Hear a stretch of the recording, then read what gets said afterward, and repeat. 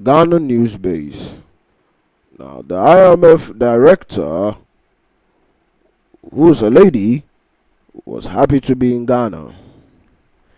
The managing director of the International Monetary Fund, Madame Christine Lagarde, she arrived in Ghana for a three day visit and she was received by Vice President Dr. Mahamudu Bawumia at the VVIP lounge of the Kotoka International Airport on Sunday evening. In a brief remark, Madame Lagarde said she was pleased to be in Ghana and looks forward to a productive visit. The Minister of Planning, Professor John Baffour, and the Governor of the Bank of Ghana, Dr. Ernest Addison, were present at the airport to welcome the IMF head.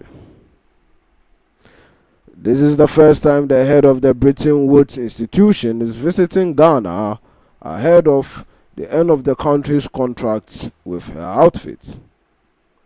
It is good that she's come here to visit the country, and it will be an opportunity to open more doorways between the International Monetary Fund and Ghana as a nation. I think a better relationship should be established between the IMF and Ghana to enable future projects to take place with ease.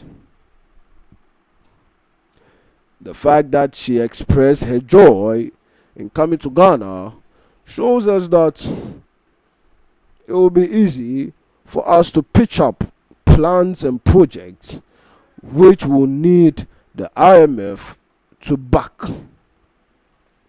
The IMF has been a strong backbone for Ghana as a nation and has shown its worth by providing monetary loans and other forms of resources to this nation to help us move forward and become who we are.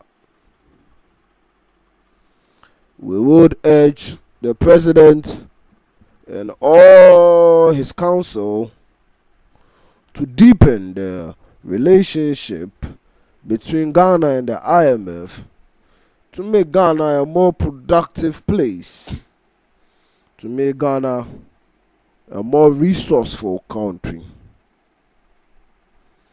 We are glad that we have the IMF on our side, and we hope that Ghana will move from a developing nation to a developed nation.